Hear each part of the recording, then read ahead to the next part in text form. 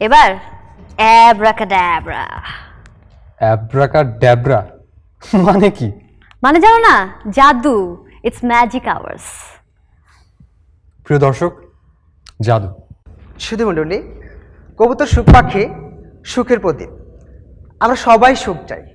তাই যেখানে রয়েছে অনেক অনেক সুখ আসুন আমরা কবুতরকে সেখানে পাঠিয়ে দিই।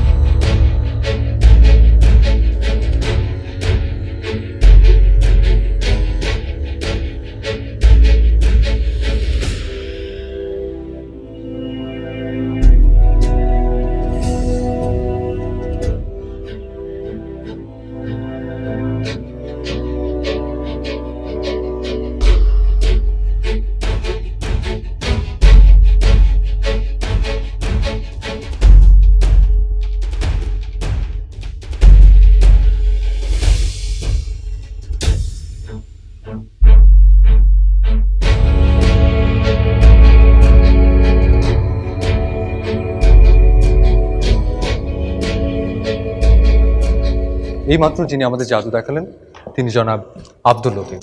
না কোনো জাদু মন্ত্র বলে নয়। অদম্য ইচ্ছা এবং কর্মপ্রচেষ্টায় যিনি তার জীবনকে করেছেন মহিমান্বিত। স্থাপন করেছেন অনুকরণীয় দৃষ্টান্ত।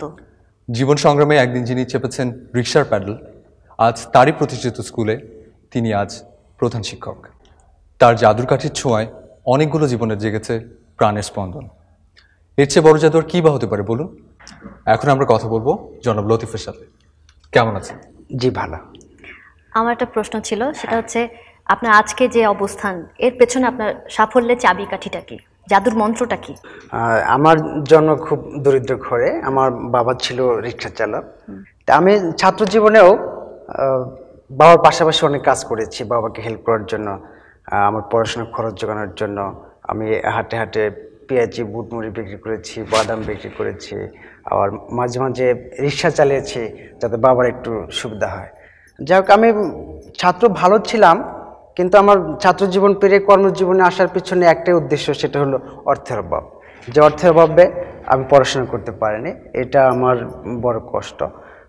আমি যখন ছাত্র জীবন পেরিয়ে কর্মজীবনে আসে, তখন আমার মায়ের যে কান্না, মায়ের যে কষ্ট হচ্ছিল, সেই কষ্টের কথা এখনও মনে পড়ে।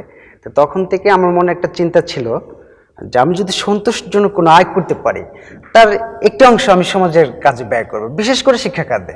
অর্থের অভাবে আমি পড়াশোনা করতে পারি না। আজ আমার অর্থে যদি এলাকার কমার মধ্যে দু চারজন সন্তান পড়াশোনা করে, এটাই হবে আমার জীবনের সফলতা।